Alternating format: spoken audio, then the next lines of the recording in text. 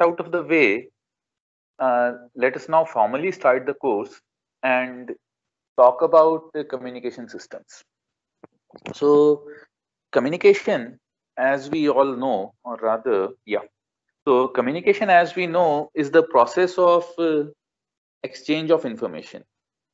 So, but uh, that communication, yes, communication is an art form. I agree, and uh, but looking at communication that way is uh, another way of looking at things. And in this course, we will actually, so the course should be titled The Principles of Electrical Communication Systems rather than uh, Principles of Communication because we being uh, the Department of Electrical and Electronics Engineering or Electronics and Electrical Engineering to be specific, yeah. So we being the Department of Electronics and Electrical Engineering will focus on the process of uh, electrically communicating information from one place to another. And as you know, since we are all of us are living through this online semester, this class and possibly all of your classes are made possible by the advent of uh, electrical communication systems. So we will discuss the history of electrical communication systems. So to start, let us go back and look at the three civilizational revolutions that uh, humans have uh, or that the human civilization has faced. The first being the agricultural revolution from the prehistoric times. The first being the agricultural revolution from the prehistoric times where we moved on from a hunter-gatherer or uh, we moved on from a hunter-gatherer society to an agricultural society, humans could actually produce their own food rather than uh, depending on collected food for survival. This also enabled humans to live in colonies and invent fire, the wheel, and other inventions. So actually fire, wheel, all of these are byproducts of the agricultural revolution. Now, we have uh, witnessed three civilizational revolutions. The first being the agricultural revolution of the prehistoric times. The second, the industrial revolution that uh, started around 1400s and uh, lasted till the 1800s and we are currently living through the third civilizational revolution that humans have seen. That is the information revolution or the as you might say the computing and communication revolution. And obviously i make a living out of it and you guys uh, plan to make a living out of this revolution. So it's important we know about this. So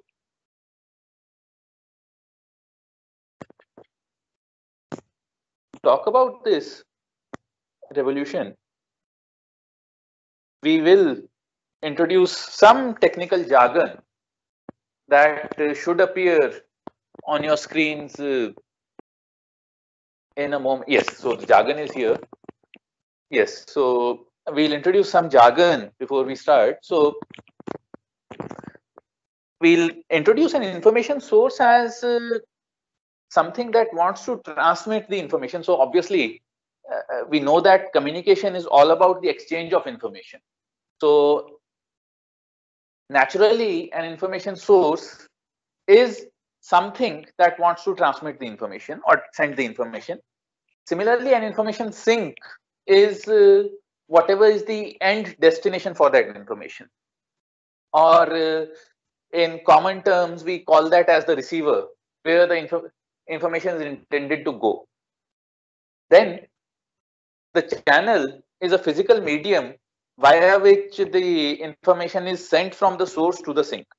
For a simple person to person communication, you can think of it as the, so if two people are talking, then you can think of the speaker as the source, the listener as the sink, and what is the channel over there? Anyone? Guesses? What is the channel in that case?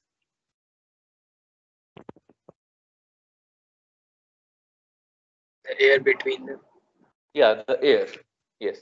So since we are talking about voice communication, the air is the channel and modulation is the process of changing the channel so that uh, the receiver in accordance with the information that is to be transmitted so that uh, the receiver can perceive those changes and or the sink can perceive those changes and detect whatever is being uh, transmitted, whatever, whatever intelligence or information is being transmitted. Following this, a code book is a language or a code book is a set of modulation symbols that are mutually that uh, that the transmitter can write and the receiver can read from the channel. Like uh, whatever i'm saying so uh, again rather than this complicated communication process let's talk about uh, again let's talk about the simple person to person voice communication. So if the speaker is speaking in say assamese and the listener understands only english the it's not possible that uh, there will be a communication link right? But it is possible that both of them will communicate when they share a codebook or when both of them speak the same language. So you can think of right now on a rough scale you can think of a codebook as a language. That uh, communication is possible when both the transmitter and the receiver both the source and the sink share some common mutually decided upon set of symbols or words to communicate with each other. That is called the codebook. And noise are the external errors like the ones we faced for the first half hour of this lecture that come and corrupt the symbols that we are transmitting. Fine. So any problems that you might have with this jargon? These are just rough definitions. We will understand better or you will understand these terms better by the time we end this course. So any questions with these? Great. So let's continue.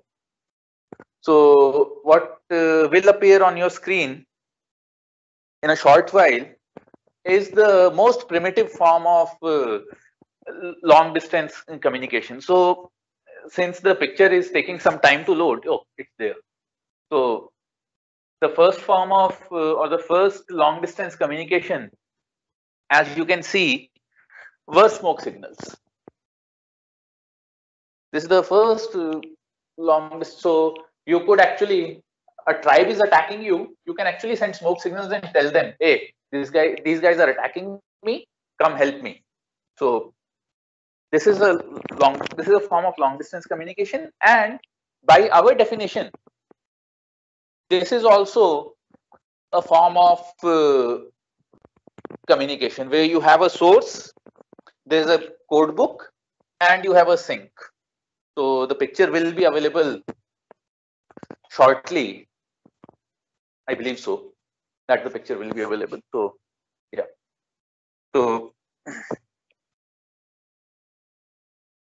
anyway, can you guess what will be another most uh, whatever what can be the most primitive form of uh, communication available to uh, or that is still around. Oh it's here. So can i can anyone identify these?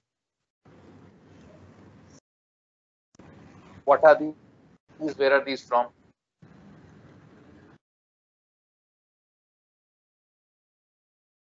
guys?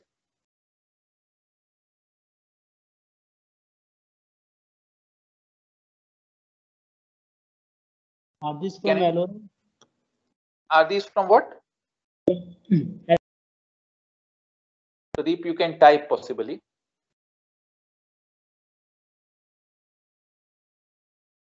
So, what are these first of all?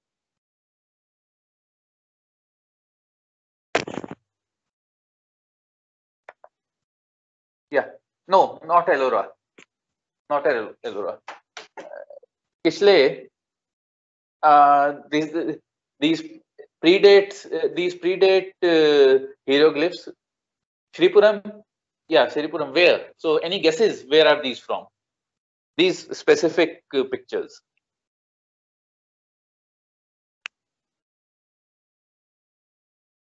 Tanmay, no.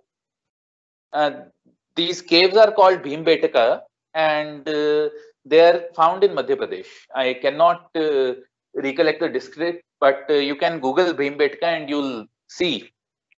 Or Bhimbetka is actually a UNESCO declared preserved site that uh, contains cave paintings. Yes, so this is also a form of uh, communication as per our definition because you see that uh, in this case the source of the information or the information source is uh, the guy who drew these pictures. You and i are the everyone who looks at these pictures is the information sink. And obviously the code book are these human and animal shapes which uh, almost everyone can recognize. The medium is this rock. And the method of modulation is using whatever paint that they had which is extremely long lasting i just hope it's not blood yeah anyway. So uh, and the medium is using uh, and the the channel is this rock and uh, obviously the modulation the method of modulation is the paint that is used to color these rocks. So yeah. But uh, we are not so if we talk about communication like this we'll have to talk about the hieroglyphs, we'll have to talk about the development of language, we'll have to go into linguistics, which is communication, but it's not electrical communication. We are more concerned about uh, electromagnetic communication or electrical communication. And the history of electrical communication kind of begins with the discovery of electromagnetism by Oersted.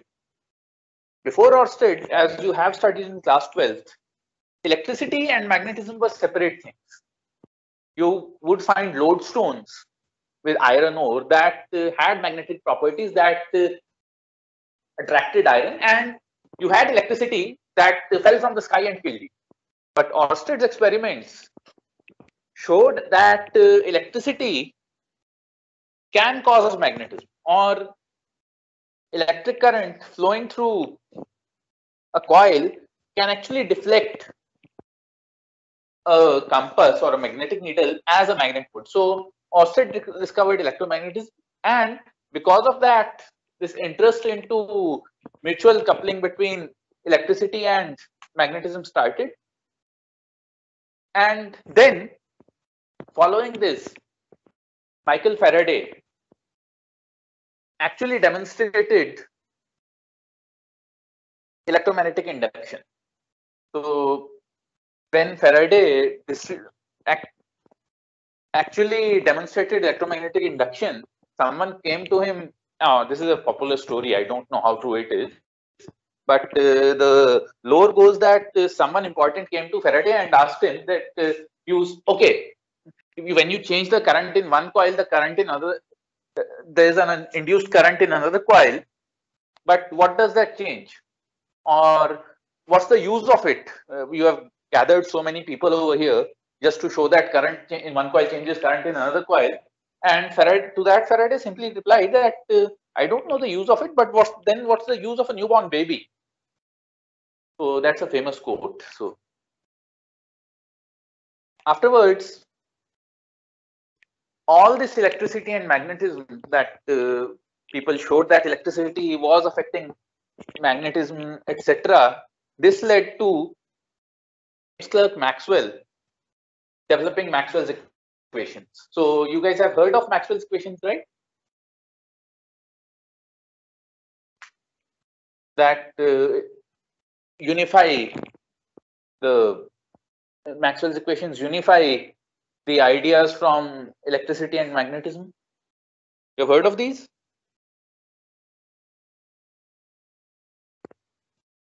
Guys?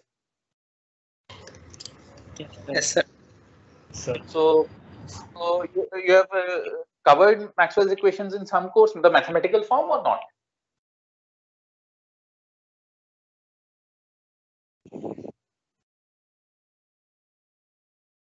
Okay, so if you haven't covered them till now, you'll possibly cover them cover them soon. And if you already have covered them, that is a good thing.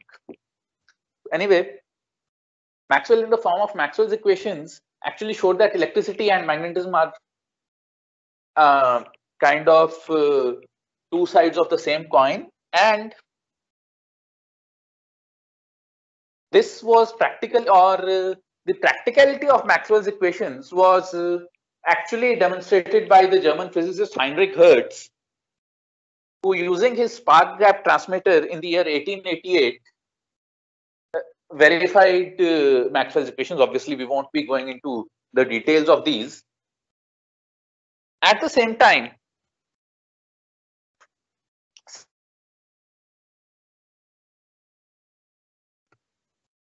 because uh, that used to change electrical pulses and uh, show that uh, or where you could use electrical pulses to communicate text messages and that was known as telegraphy. So you have heard of uh, telegrams, not the telegram app, the old old time telegrams where you uh, send letters as codes. Anyone heard of them? You can raise your hand.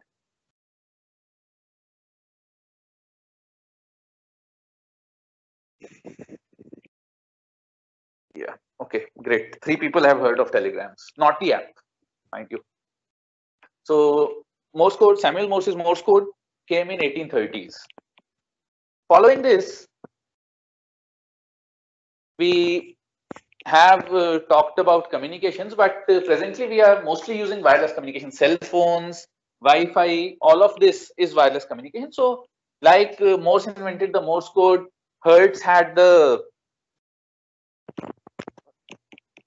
Hertz had uh, demonstrated Maxwell's equations. Faraday kind of invented electromagnetic induction. Uh, Edison invented the light bulb. We can always ask the question, who invented wireless communications? But since uh, we are talking about communication, so who invented communication? Who invented wireless communication? John Bardeen invented the transistor, you can say. So who invented communication? The answer is uh, or who invented uh, radio communication? So the answer to that question is slightly tricky because uh, or, or, it depends on how would you define a radio. So I'll just uh, wait for the slide. So radio is composed of many components. There's a receiver, there's a mixer, there's obviously, uh, you open a radio, you, there's obviously the demodulator, there is the converter. So, so what do you call a radio? So do you, uh, how many of you recognize the picture here? Raise your hands. So how many components uh, of a radio do we require before uh, we call it a radio? Because a lot of people invented different components of the radio. You can say that uh, some guy invented some part, some guy invented some other part, which were independent contributions. So, like uh, none of them is the true vision and both of them are. Similarly, no one invented the radio and a lot of people did. So, we'll just quickly run through whoever uh, or whoever were created or whoever were credited with inventing the radio. So I'll just start off with some dates.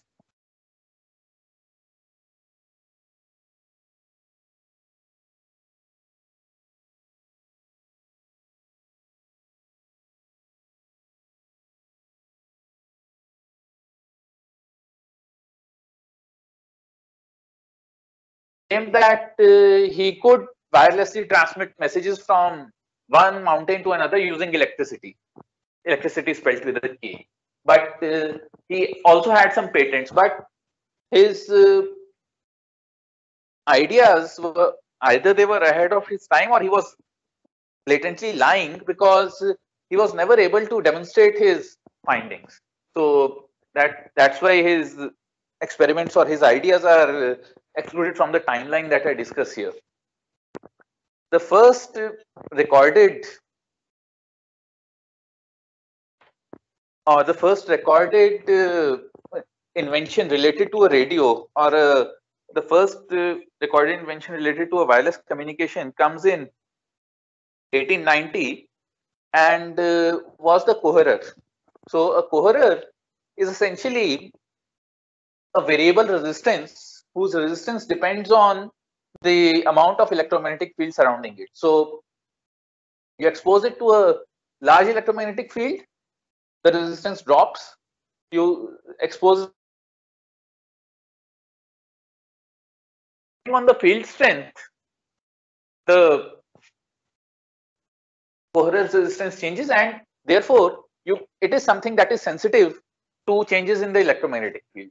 Now if you can change the you can use something else to change the electromagnetic field at your will then you can obviously change the resistance of the coherer and the amount of current that flows through the coherer as a resistance and hence you can wirelessly transmit information from one point to another or you can at least wirelessly transmit the amplitude of current from one point to another at your will. Make sense? I hope it makes sense. 1890, Tesla, all of you know him by now. So this is a picture of Tesla sitting in his lab demonstrating wireless power transfer. 1893, Tesla demonstrated wireless transfer, power transfer and 1890, he already had a patent for it. So this. Meanwhile, in India, so let the picture come. Then I'll. Uh, so meanwhile, in India, Acharya Jagdish Chandra Bose, the guy who ended up showing that uh, plants are a life form. So who all have heard of him? Raise your hands. Again. So this is the same guy who ended up showing that uh, plants are a life form.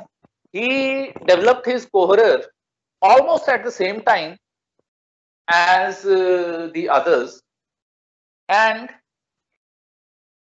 he used uh, very high frequencies. He used terahertz waves, which we are doing right now, but, that was more of a coincidence. Still, he developed his own coherer and uh, actually managed to ring a bell in another room. You, so he fired a gun in one room and managed to ring a bell in another room using the using his uh, version of the coherer. His version of the coherer, which used mercury, was eventually used in the final patent for the radio, which was granted to Marconi. So Marconi is credited with uh, inventing the radio, but uh, Marconi actually holds the patent of the entire system but uh, Marconi didn't actually invent all of the components separately. He put it together. So similarly, Apple didn't invent the smartphone. All the components were there separately. Apple just assembled them or Apple was the one to put all of that together in a nice way. Similarly, Marconi didn't invent the radio, he ha had the patent for the radio because he was able to put all the components uh, together and uh, Marconi's picture isn't visi still visible. So I'll just wait for that. Yeah, so it's there. So 1874, the cat's whisker coherer was uh, a cat's cat's whisker detector was developed, which was essentially an old form of a crystal diode. So Semiconductors, as you know, became popular after the 1940s. Before that, this whisker detector was an early form of the diode. Popov in 1895 made a Russian, Russian version of the coherer. See the impact of communication. In those days, electrical communication or the modern form of communication wasn't there. So the coherer was actually invented at multiple places around the same time and all almost all of them performed the same function. Obviously these people weren't stealing from each other. They were just unaware of uh, the existence of other research in this area. 1895 marconi started his experiments with a assembled version of the radio. And in the next 5 years oh sorry next 6 years he was able to establish a transatlantic telegraphic link. So means you could send Morse coded messages from one end of the Atlantic that is Britain to the other end that is the US. So before that crossing the Atlantic Ocean or getting the information from one end of the Atlantic Ocean to the other end was considered a well uh, titanic or gargantuan task but uh, Marconi's transatlantic uh, wireless telegraph services began in 1907.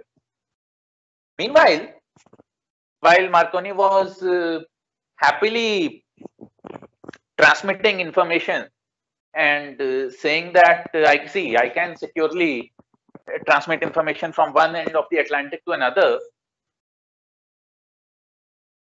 we had a wireless system, we had a communication system, we had a system that communicated messages and you can say that first the first electrical communication hacker was born. So this guy named uh, Neville Maskelyne, sorry, uh, sorry, uh, I apologize if I pronounce his surname incorrectly. So this guy was able to eavesdrop on Marconi's uh, transmissions in the year 1902. Note that these were Morse coded messages. So all he had to do was, so all he was receiving was taps. And he was able to receive what Marconi was transmitting, showing that Marconi's system had security issues. So yeah, you can say the first ethical hacker who found out that some big corporation software or some big corporation system had transmission or had security issues, this guy. So he found out that uh, you could listen to what Marconi was transmitting. One. Two, in 1903, he actually interrupted Marconi's transmissions. So Marconi was uh, obviously Marconi, those days Marconi was happy and going around showing his invention that, hey, see, I can transmit uh, or I can do wireless telegraphy. I can transmit signals wirelessly from one end to the other and this guy simply hacked into the system or rather sent wireless telegraphic signals that were so strong that they totally overrode Marconi's messages and uh, what were received were, and he actually transmitted bad words at the receiver end. So uh, he was much like the modern day hackers, you can say.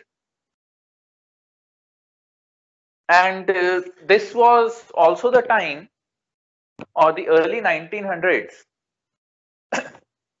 were the time when broadcast radio was developed. So you can see the broadcast radio slide, right? Yes, you can see it. So in the year 1900, amplitude modulation was discovered. And uh, so amplitude modulation, as we will study in this course, is the process where we can change the amplitude of a electromagnetic wave or a signal so that uh, its amplitude conveys the information about the signal or the information that we want to transmit and that amplitude modulated signal is received to at the yeah at the information sink so anyway it was this this was uh, first discovered in 1900 and these were the first audio radio station. So you know radio stations, right? FM radio, almost everyone uses. We have uh, discussed in the this in the previous class. So the precursor to FM, AM, amplitude modulation was developed in 1900. In 1907, the triode valve, the precursor to the transistor, or uh, the original amplifier was developed, and you could faithfully transmit or faithfully amplify the transmitted waves. So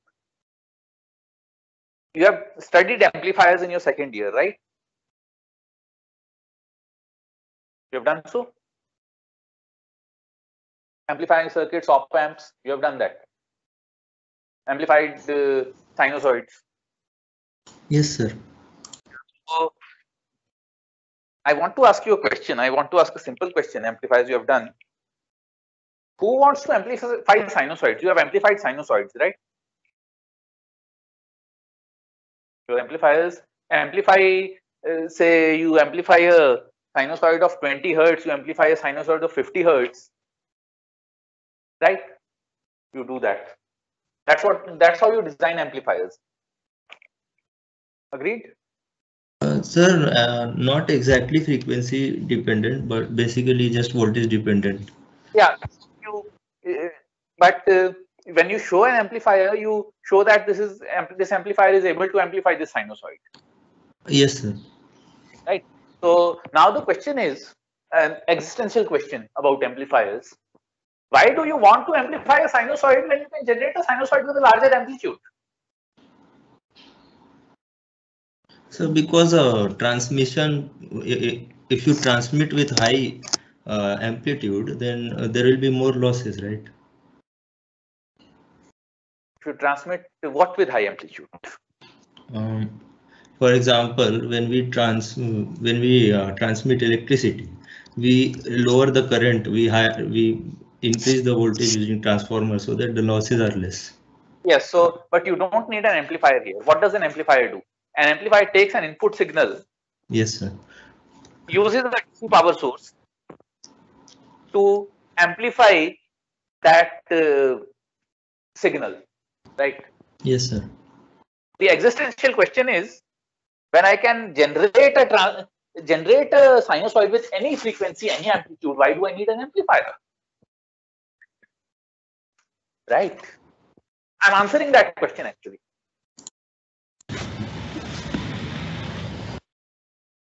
I'll answer that question, but uh, I want you to make some guesses. Like because some signals are uh, originally with uh, low amplitude and uh, which are not like uh, like they are much uh, mixed with the noise. Okay, Naga. So you were uh, mostly right. Let me paraphrase this better. So all signals. So we are not interested in. We are actually not interested in uh, amplifying sinusoids. We are interested in amplifying practical signals. You measure someone's temperature. That uh, or you are measuring some seismic noise. You know seismic noise, right? Uh, movements in the earth.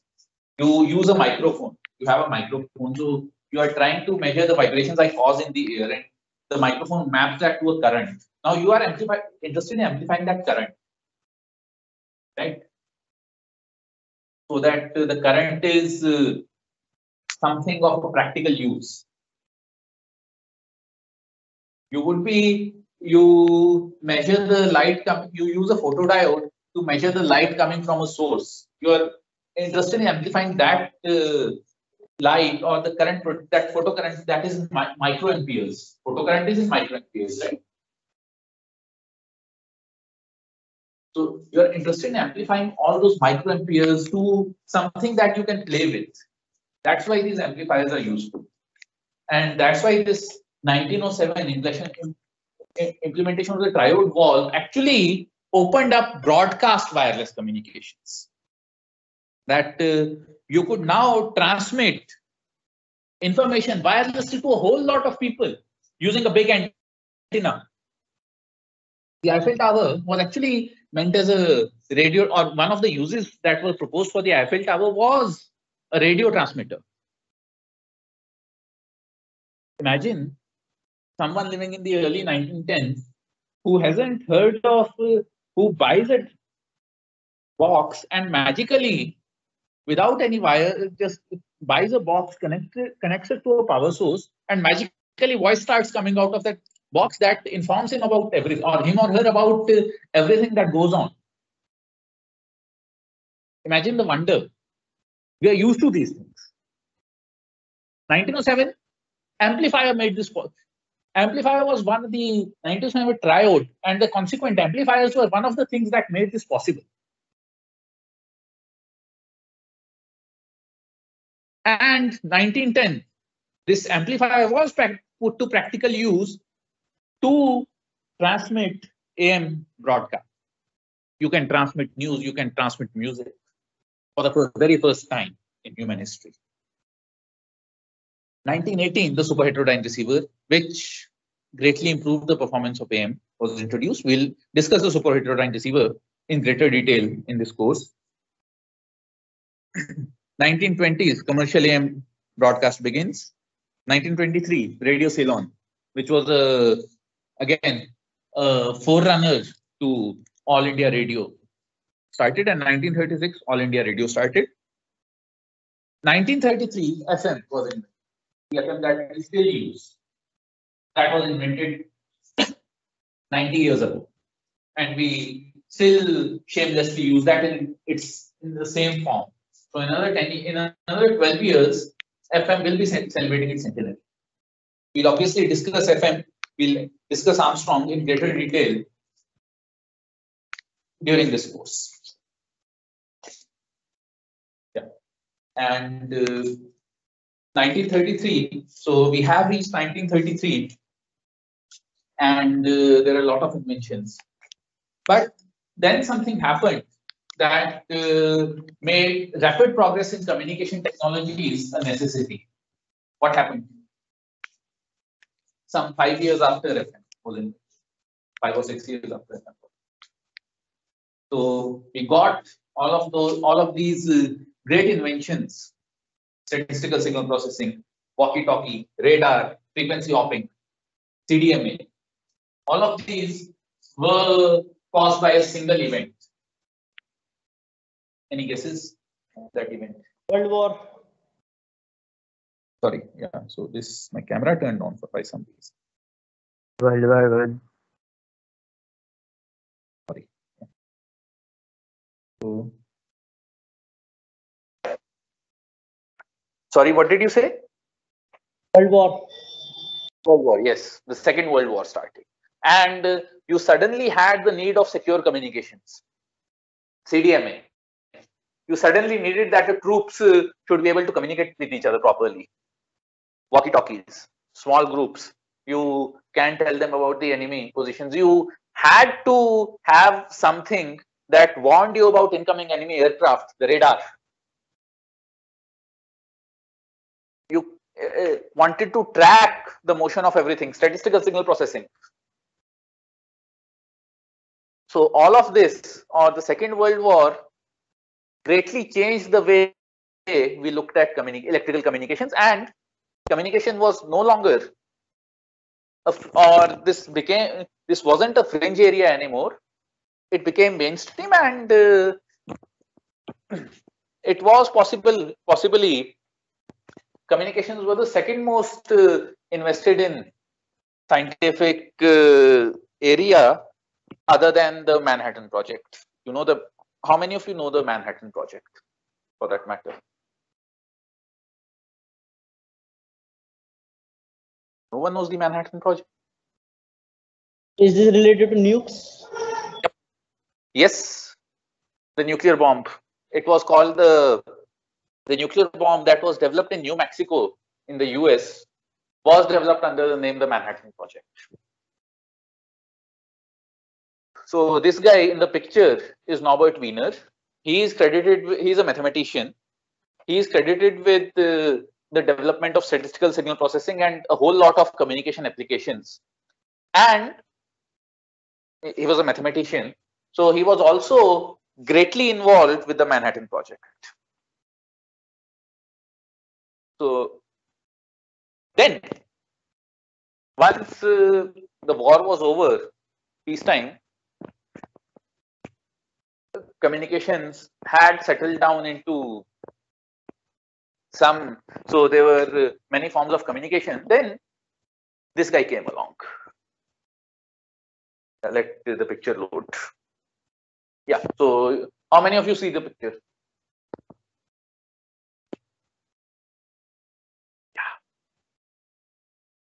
Yes, so uh, actually, this is a wrong picture but uh, this gives the kind of the uh, you gives gives you the importance of the guy I'm talking about. So it's coming. Yeah, so it's here. So this guy's name is Claude Shannon, C L A U D E, Shannon. So his biography is called The Mind at Play. You can read that. I am still yet to read that. So it has been on my reading list for the past three or four years.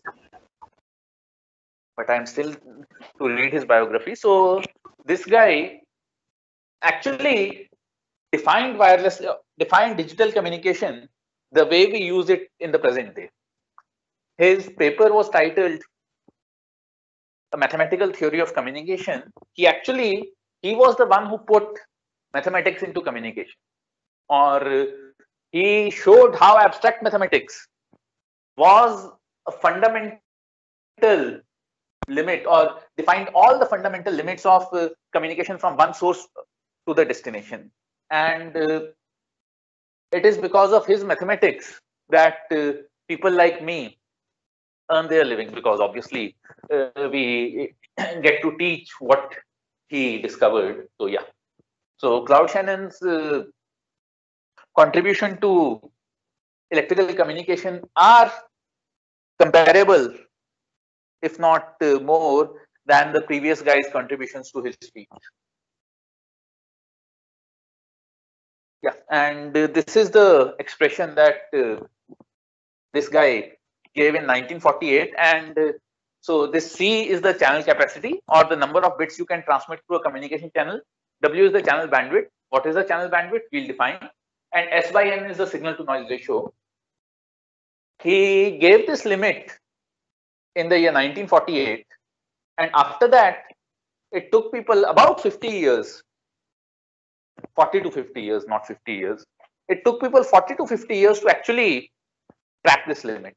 So. Uh, that uh, I hope that gives you an idea of uh, how important uh, this guy's con contributions were. Following this came the modern era of communications that uh, we are kind of uh, living through. So in the year 1958, communication satellites came along. 1967, the Viterbi algorithm was developed. The Viterbi algorithm was developed by Andrew Viterbi, who was one of the founders of Qualcomm that uh, powers modern day smartphones. 1968, packet switched internet. You see data packets. So that was uh, for the first time developed in the year 1968. You will learn about the Aloha protocol and Aloha net in your computer networks course in the next semester. 1972, packet switch networks wirelessly. So the first form of wireless internet, the first form of your 4G, the first form of Wi-Fi, 1972, packet radio networks. 1973, Bell Telephone Labs and, sorry, not Bell Telephone Labs, Motorola people actually managed to make their cellular phone equipment work and called Bell Telephone Labs. That was a rival company developing the same thing. The Ethernet protocol, the protocol via which all the wired LANs, wired LAN is, or the protocol that connects wired LAN was developed in the mid 1970s. 1980s, first generation cellular telephony, 1991 2G, 1996 MIMO. So by 1995, people ran out of, uh, or people almost achieved Shannon's limit. Communication engineers uh, had achieved what Shannon had predicted 40 years, 40 to 45 years ago. And so they were worried that once we achieve whatever Shannon has predicted, we'll run out of new inventions and uh, we'll be out of jobs. So they figured out that, hey, that guy talked, talked about just a single tra transmit antenna and a single receive antenna. What if we have multiple transmit antennas and multiple receive antennas? That gave uh, birth to the idea of MIMO or multiple input, multiple output systems. And those multiple input, multiple output systems still provide us bread. 1997, 1997, we had two major inventions that changed the course of uh, present day communications, multi-user detection, the idea using which you can transmit multiple signals simultaneously over the same band that uh, powers 5G or that is one of the cornerstones of uh, 5G networks. And in 1977, you had the public release of IEEE 802.11. Can anyone tell me what was uh, what is IEEE 802.11?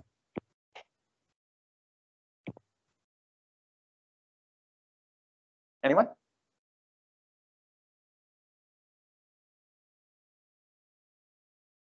Wi-Fi. Okay. IEEE 802.11 was Wi-Fi. 2007 smartphones and uh, that kind of uh, ends the history of uh, wireless communication or uh, the history of communications. So starting tomorrow,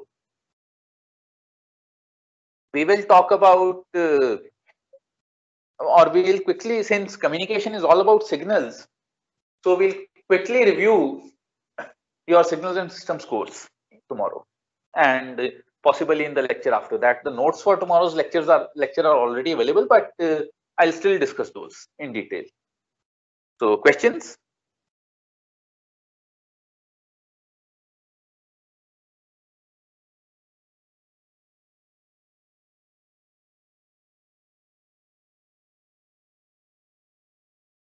Guys am i audible Yes, sir. Okay. So any questions? Okay, great. So we'll stop here then and uh, pick up tomorrow. So I'll end this meeting.